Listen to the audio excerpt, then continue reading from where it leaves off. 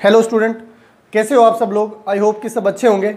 और आज के लिए जो फैक्ट वाली अपनी क्लास है, उसके अंदर मैं लेके आया हूँ एक करंट न्यूज़ जो चल रही है, ज़्यादातर एक जो भयंकर रोग चल रहा है, इस कोरोना के अंदर जो एक भयंकर रोग चल रहा है, जिसकी बात मैं करने जा रहा हूँ, वो है म्यूकर माइकोसिस क्या बात करने जा रहा हूँ मैं? म्यूकर माइकोसिस जिसको अपने बोलते हैं ब्लैक फंगस क्या बोलते हैं? ब्लैक फंगस आखिर ये क्या है? और ये किस प्रकार से फैल रहा है? और किन किन लोगों को हो रहा है? तो ये जानने के लिए आज के लिए अपनी जो फैक्ट वाली क्लास थी, उसके अंदर ये मैं कंटेंट डाल रहा हूँ। ठीक है आई होप सो आपको, आपके काफ़ी जानकारी जो है वो आपके लिए काफ़ी बेहद हद तक क्या होगी, उपयोगी होगी।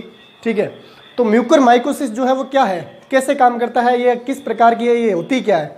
तो सबसे पहले तो मैं आपको ये बता दूँ कि म्यूकर माइकोसिस जो है वो क्या है, एक प्रकार की कवक है।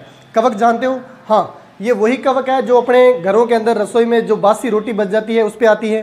ठीक है और जहाँ मान लो अचार पे आ जाती है सड़े गले, जो भी पदार्थ हैं, सड़े गले जितने भी कार्बनिक पदार्थ हैं, जिसके ऊपर जो फंगस लगती है, जिसको आप कवक बोलते हो या फफूंद बोलते हो आम भाषा के अंदर, वही कवक क्या है? म्यूकर माइकोसिस है। ये जो म्यूकर माइकोसिस है, ये कोई नई नहीं है। ये काफ़ी टाइम से स्टडी भी की गई है और काफ़ी टाइम से ये पृथ्वी पर है। जब से जीवन बना है, तब से पहले फंजाई आई है, यानी फंगस, जो भी फंजाई आई है पादप जगत चला है पादप जगत चला है, जंतु जगत चला है। उस प्रकार से म्यूकर माइकोसिस आज का कवक नहीं है, ये बहुत पुराना कवक है। जैसे मैं बात करूँ ब्रेड, या जिसको अपने डबल रोटी बोलते हैं, ब्रेड बोलते हैं या जिसको अपने क्या बोलते हैं, डबल रोटी, उसके ऊपर भी नमी रहने पर या काफ़ी टाइम से उसको खुला छोड़ने पर, आपने देखा होगा उसके ऊपर ब्लैक ब्लैक स्पॉट बन जाते हैं। ब्लैक ब्लैक क्या बन जाते हैं? स्पॉट बन जाते हैं। वो भी क्या है? वो भी क्या है? म्यूकर माइकोसिस है। म्यूकर माइकोसिस है। ठीक है? माई माइकोसिस। म्यूकर माइकोसिस आज की कवक नहीं है, ये काफ़ी टाइम से है, लेकिन इसका फैलाव जो है वो अब ज़्यादा हो रहा है। क्यों? अपने बॉडी पर हर रोज़ पता नहीं कितने बैक्टीरिया इफ़ेक्ट डालते हैं, हर रोज़ पता नहीं कितनी फंजाई ठीक है इफ़ेक्ट डालती है, ठीक है। तो अपने बीमार क्यों नहीं हो रहे? अब इससे बीमार क्यों हो रहे हैं सर क्योंकि अभी क्या है कि ये रोग आपने सुना होगा कि उन व्यक्तियों के अंदर हो रहा है जो क्या हो रहे हैं कोरोना पेशेंट थे। जो क्या थे? कोरोना कोरोना पेशेंट थे। कोरोना पेशेंट थे। और वो ठीक होके आए थे रिकवर होके आए थे उनके अंदर हो रहा है। क्यों हो रहा है सर उनके अंदर? क्योंकि जो जिस व्यक्ति के अंदर इम्यूनिटी सिस्टम जो है वो कमज़ोर होता है जिस व्यक्ति के अंदर इम्यूनिटी सिस्टम कमज़ोर होता है उन लोगों को जो है ये रोग जो है ज़्यादा हो रहा है। क्योंकि इम्यूनिटी सिस्टम आज सिस्टम जो है वो आज मान लो अपना कमज़ोर हो जाए तो अपने किसी भी रोग से ग्रसित हो सकते हैं। ज़रूरी नहीं है कि अपने को ब्लैक फंगस ही हो और भी बहुत सारे रोग हो, सकते हैं ठीक है?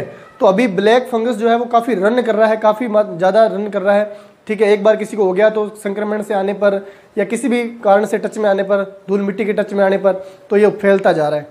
तो ब्लैक फंगस क्या है? म्यूकर माइकोसिस कवक से फैलने वाला है। एक ब्लैक जो है वो क्या है? ब्लैक रंग की क्या है? कवक है। तो इससे क्या किया जाए? इससे सावधानी बरती जाए किस प्रकार से अपने को क्या करना है? अपना इम्यूनिटी सिस्टम जो है वो मज़बूत रखना है। अगर अपना इम्यूनिटी सिस्टम मज़बूत होगा तो ये किसी भी प्रकार की कवक या किसी भी प्रकार का बैक्टीरिया जो है अपने को इफ़ेक्ट नहीं कर सकता। अभी कोरोना की जो वैक्सीन भी लगाई जा रही है तो वो किसकी लगाई जा रही है? इम्यूनिटी सिस्टम की लगाई जा रही है। यानी इम्यूनिटी पावर बढ़ाने के लिए जो वैक्सीन लगाई जा रही है। ठीक है, ताकि अपना इम्यूनिटी पावर जो है बढ़े। और अगर किसी व्यक्ति का इम्यूनिटी पावर पहले से कमज़ोर है और वो रोगों के संपर्क में आ रहा है तो ओबियस बात है उसको रोग होगा। तो ब्लैक फंगस रोग क्यों फैल रहा है? क्योंकि उन्हीं के अंदर फैल रहा है जो कोरोना से ठीक हो गया है, जो काफ़ी टाइम से वेंटिलेटर्स में थे या जो जिसको कोरोना हो रखा था, जो कोरोना पॉजिटिव थे। ठीक है तो वो वापस बेचारे ठीक होकर जब आ रहे हैं तो उनके अंदर जो है ये रोग देखने को मिल रहा है क्योंकि उन, उनका इम्यूनिटी सिस्टम जो है वो बहुत ही ज़्यादा कमज़ोर है। इन रोग इस रोग से किन किन को ज़्यादा खतरा है? जैसे मान लो कोई कोरोना पॉजिटिव था और उसको शुगर थी या मान लो मधुमेह रोग जिसको अपने डायबिटीज़ बोलते हैं वो थी तो डायबिटीज़ वालों को थोड़ा सा इसके इसका ज़्यादा खतरा है क्योंकि डायबिटीज़ के अंदर क्या होता है कि अपना खून के अंदर ग्लूकोज की मात्रा बड़ी ज़्यादा होती है या बढ़ जाती है। तो उस कंडीशन के अंदर खून भी मीठा हो रखा है तो उनके अंदर क्या होगा म्यूकर माइकोसिस है। ये जो ब्लैक फंगल इन्फेक्शन जो चल रहा है, अभी वो फैलने के जो खतरे खतरा जो है वो ज़्यादा रहेगा। ठीक है? तो म्यूकर माइकोसिस को पछाड़ने के लिए, इसको हराने के लिए अपने को क्या करना है? अपने इम्यूनिटी सिस्टम को क्या करना है? डेवलपमेंट करना है। उसको बढ़ाना है, उसको ग्रो कराना है। ताजो, ताज़ी सब्ज़ियाँ खानी है, फल फ्रूट खाने हैं और व्यायाम एक्सरसाइज वगैरह करनी है जिससे क्या हो? अपना इम्यूनिटी पावर अपना इम्यूनिटी सिस्टम जो है वो मज़बूत हो जाए। तो अपने को किसी भी प्रकार के कोई रोग से डरने की ज़रूरत नहीं है। और ना ही ये कोई नई बीमारी फैली है भयंकर तरीके की। ये आज भी है और पहले भी था। ब्लैक फंगल जो है वो, ब्लैक कवक जो है, वो क्या है, पहले भी थी और आज भी है। कवक के बारे में आप लोग पढ़ते भी आए हो कि कवक किसको बोलते हो? कवक ये वही कवक है जो डबल रोटी या ब्रेड पर आती है। कवक, या इसी को अपने क्या बोलते हैं, फफूंद बोलते हैं। इसी को क्या बोलते हैं? फफूंद भी बोल देते हैं। तो इससे कोई डरने वाली बात नहीं है, सिर्फ़ क्या करना है? सावधानी बरतनी है। किसी भी प्रकार की कोई ज़्यादा डरने वाली बात नहीं है कुछ नहीं बिगाड़ सकती। जब तक आपका इम्यूनिटी पावर मज़बूत है कोई रोग आपका कुछ नहीं बिगाड़ सकता। अगर आप नशे कर रहे हो तरह तरह के धूम्रपान कर रहे हो या लापरवाही बरत रहे हो मास्क नहीं लगा रहे हो तो उस कंडीशन के अंदर आपको क्या हो सकता है? ये रोग हो सकता है। तो डरना नहीं है सिर्फ़ सावधानी बरतनी है। आई होप सो आपकी आ, आपके लिए आज की जो जानकारी है वो आपके काम आई होगी। तो थैंक यू भी सबको।